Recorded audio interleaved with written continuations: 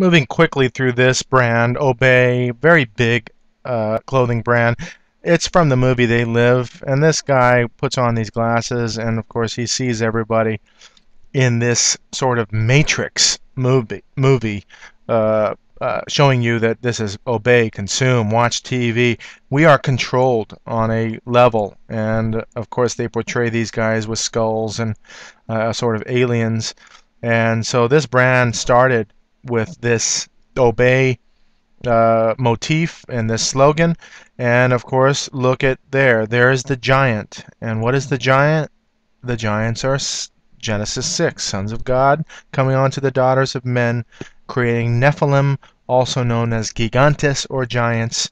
And here we have Andre the Giant. So understanding that these brands have biblical connotations and content.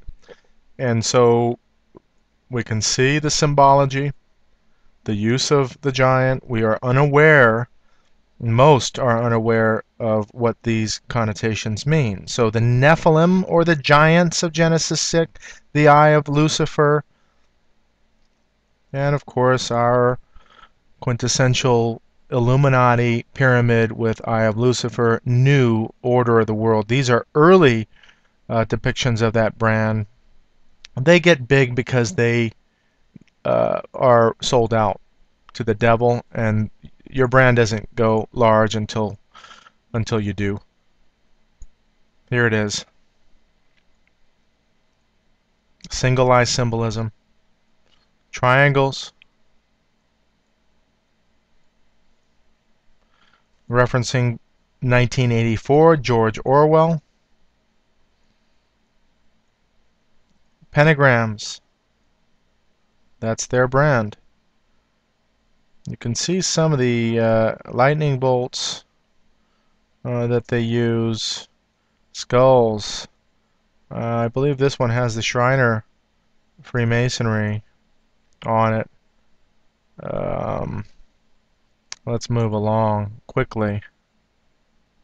There is a reference here to Freemasonry. This is time the winged uh, uh, winged time. And I don't have that image here but that is a reference. That's a cult. And then we have uh, the owl. Black and white on this woman. Of course the peace sign which is Nero's cross anti-Christian. And then the sign of the benediction. Here's a reference to China and Mao. And the Queen of Heaven or Mary, both in the Islamic sense and the Western sense.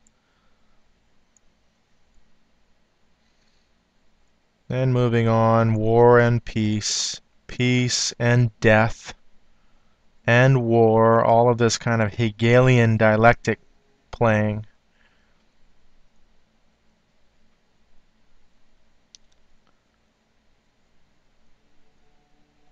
Six six six